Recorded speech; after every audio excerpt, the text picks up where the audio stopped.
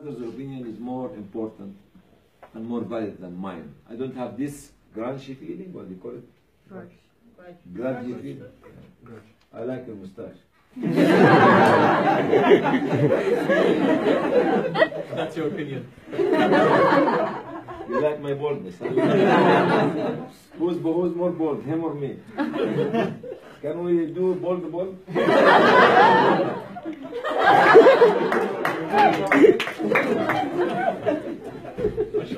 my opinion and your opinion.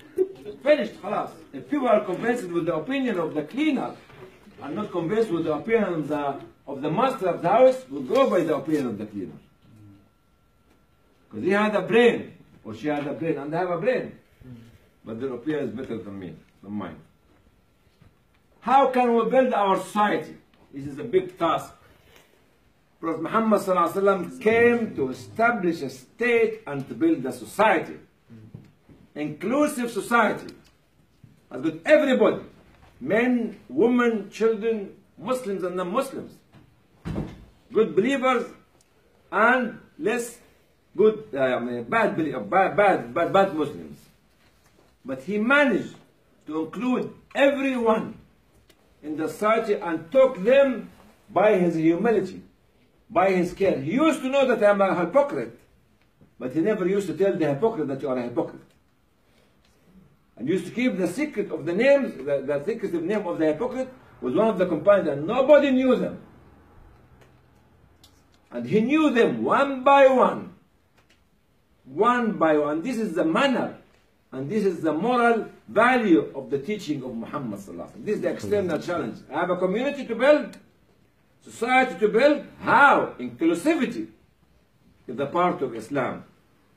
How can we protect our country? Starts from the society to the nation, to the country. How can we protect it? Okay? How can we make life? You know what? Quite often we talk about martyrdom. Everybody would like to become a martyr.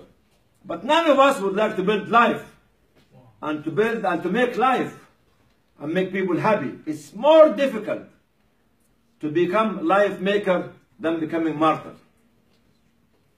We run away. It's difficult to build society, difficult to build the community, difficult to make life of others. Everybody talk about martyrdom. Martyrdom has got a category, no problem. It's only given to the one that Allah loves to give to him or him. To her or him. Making life is more difficult than becoming blowing somebody blowing himself up. How can we establish and build civilization? We are here not people who are sidelined.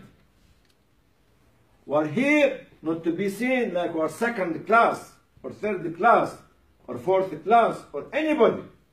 We are here to build civilization while we are living, whether we live in Bangladesh or India or UK or Europe or America or Africa or anywhere. It's the purpose of life is to create this kind of civilization. And how can we make the history to chase our footsteps and come closer to our ears to listen to our whispers? Because you are the change maker and you are the history makers. Not by talking, not by talking, not by screaming, not by shouting, by doing. But starts from the heart, then goes out to the community in action. For this, Brother Dishan, um, He's my brother, it's okay. I changed his, mind, his name. Okay, his name.